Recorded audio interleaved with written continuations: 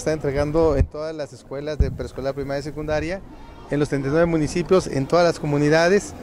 Eh, la idea es que en una semana esté prácticamente cubierto el 85% de todas las cabeceras municipales, de Durango, Gómez y Lerdo, como los municipios más grandes.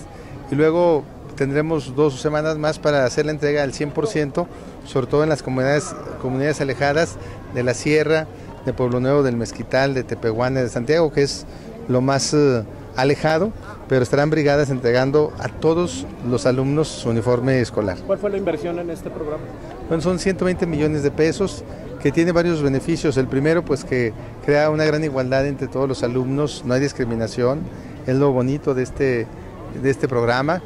Y aquí, pues eh, hay que decirlo también que es un programa que es único, otros estados que empezaron con este programa al final tuvieron problemas y la verdad el programa de Durango ha sido muy exitoso. Y ha ayudado mucho el modelo que son pants, que son ajustables. Y es eh, la calidad de la tela que es una garantía. Y le sirve a los niños ya como respaldo, de otro uniforme para pues, tener un cambio.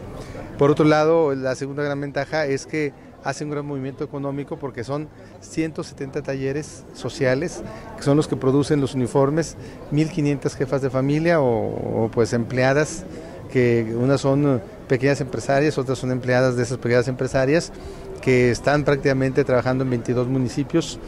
Y lo tercero, pues que este programa hace que mm, los padres de familia tengan un gran ahorro económico porque pues algunos tienen dos, tres eh, niños y ya se ahorran 1.800, 2.400 pesos y es un gran apoyo para la economía de todas las familias.